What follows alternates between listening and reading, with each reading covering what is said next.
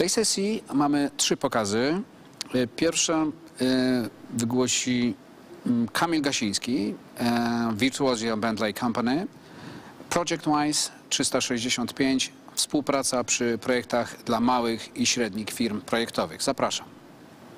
Witam bardzo serdecznie. Mam nadzieję, że mnie dobrze słychać. Tak. Okej, super.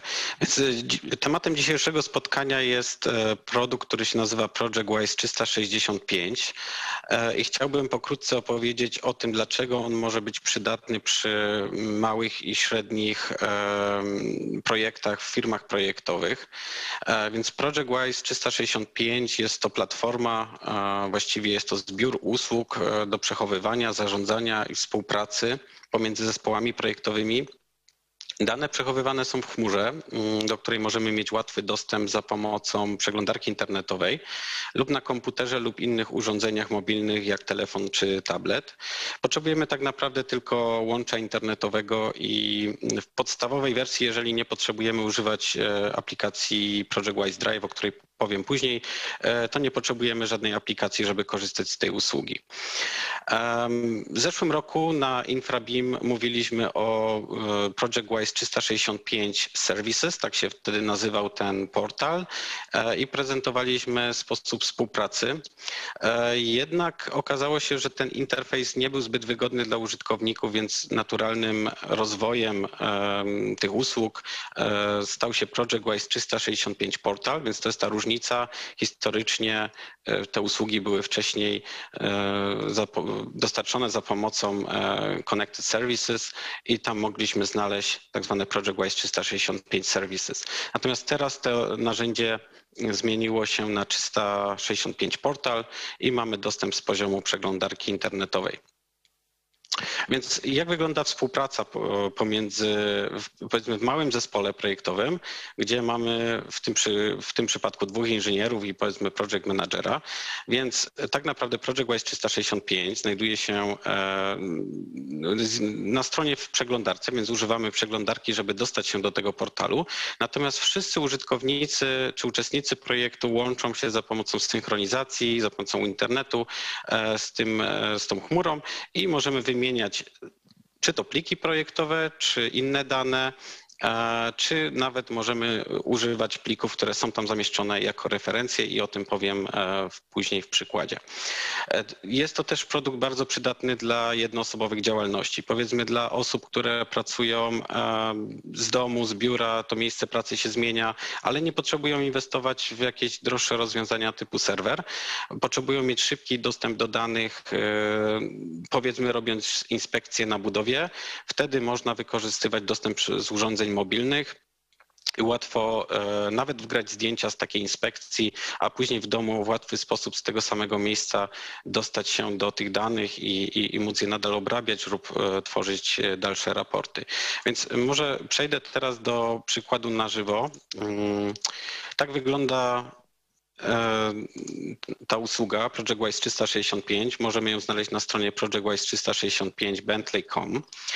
E, I teraz po wejściu tak naprawdę mamy nielimitowany dostęp do projektów. Możemy stworzyć tyle projektów, ile tylko chcemy.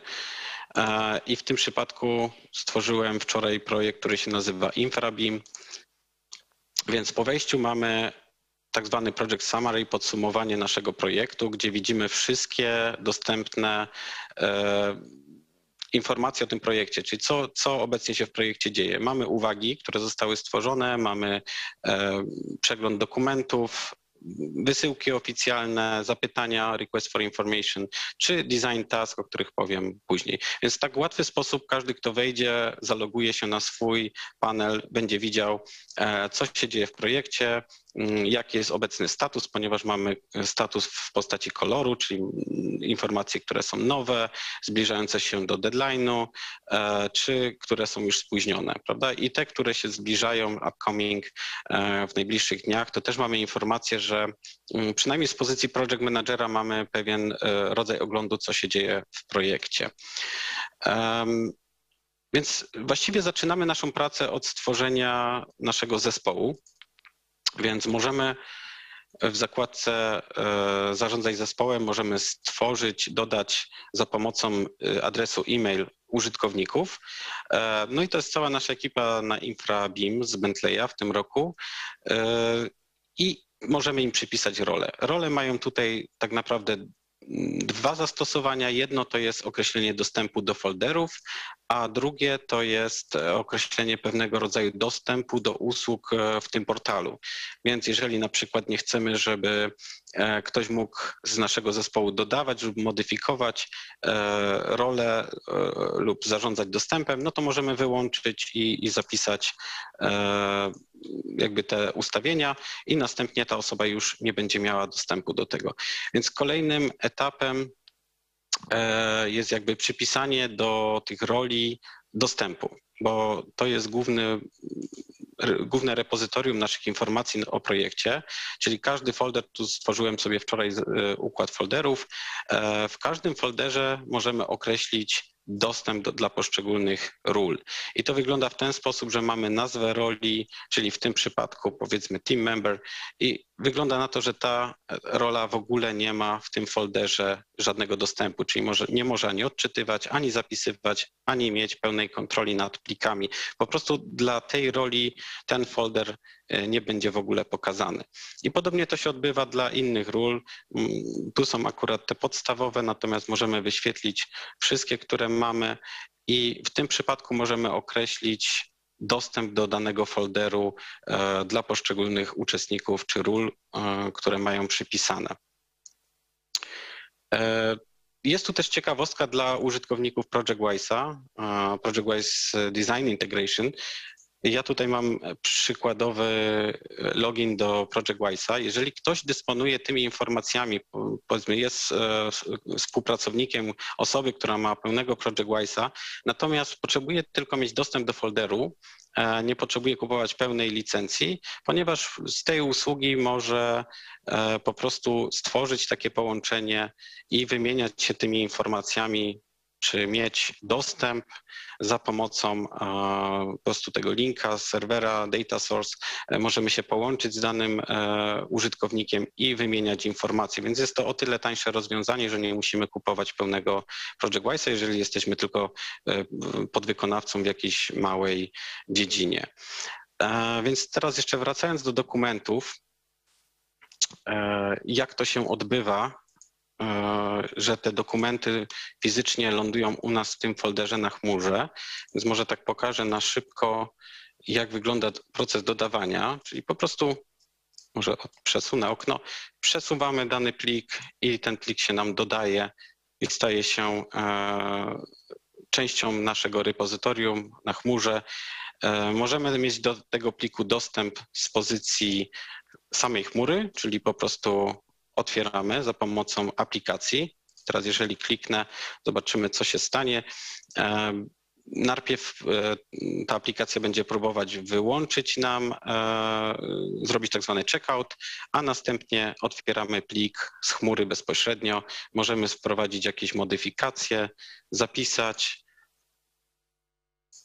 a następnie zrobić check-in, czyli w tym momencie użytkownicy, którzy będą jakby korzystać z tego pliku, e, już będą korzystali z wersji poprawionej, czyli jeżeli teraz otworzymy, to będziemy tutaj widzieć naszą modyfikację E, czyli dodany, dodany tekst. Jeżeli zostawimy plik za pomocą checkoutu, tak jak tutaj zrobił Bartek o godzinie e, wczoraj o godzinie 5, e, no to nie jesteśmy w stanie tak naprawdę otworzyć tego pliku. Znaczy możemy otworzyć go tylko do odczytu, nie możemy go modyfikować, no chyba, że zrobimy tak zwany uwolnienie pliku i wtedy on będzie już dostępny dla wszystkich.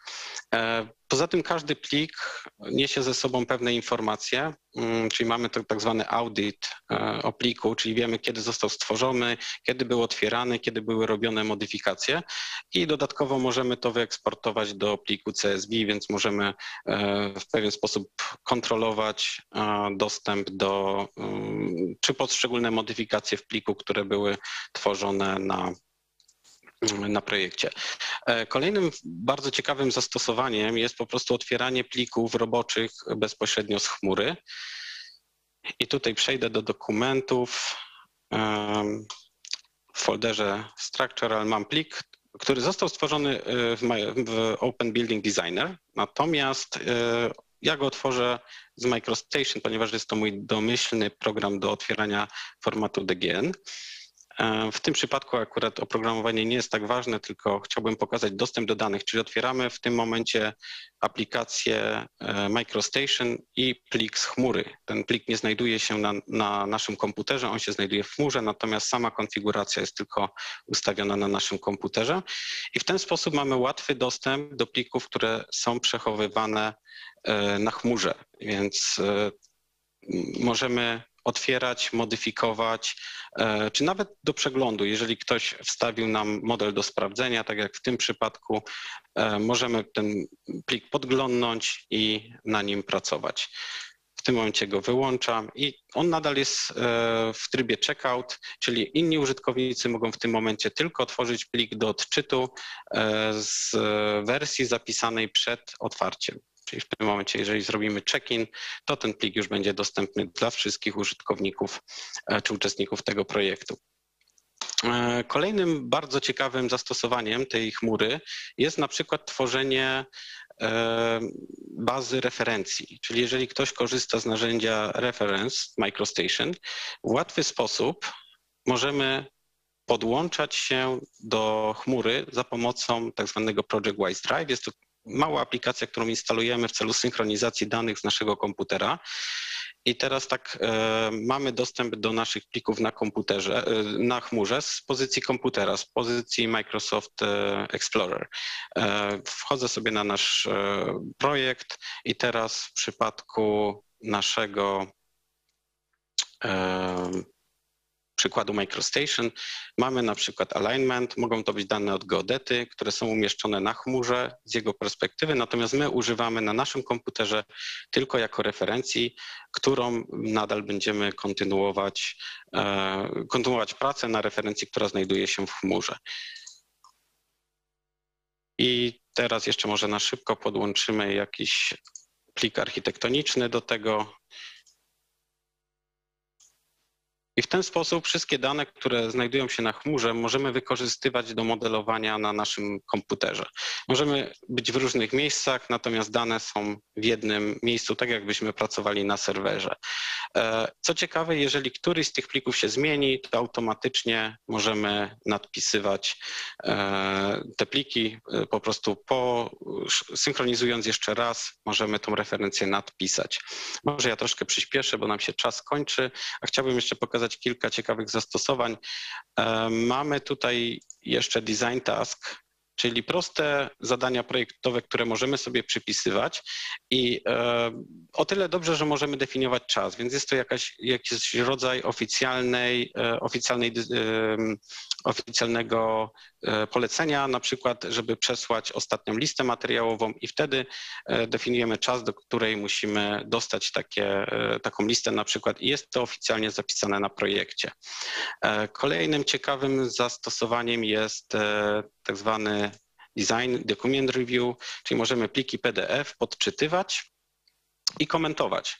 Więc możemy tutaj wykorzystywać różne rodzaje komentarzy w postaci linii, tekstu, różnych e, pieczątek. Pozwala to nam na dokonywanie pewnej analizy dokumentacji w formacie PDF, czy, czy nawet nie muszą być to rysunki, mogą być po prostu dokumenty PDF, które chcemy zaznaczać, komentować i tworzyć uwagi. To jest, to jest ważne, że z każdej z, każdej, z każdego komentarza możemy stworzyć uwagę, którą możemy później zarządzać. Ja może jeszcze przeskoczę raz do tego projektu.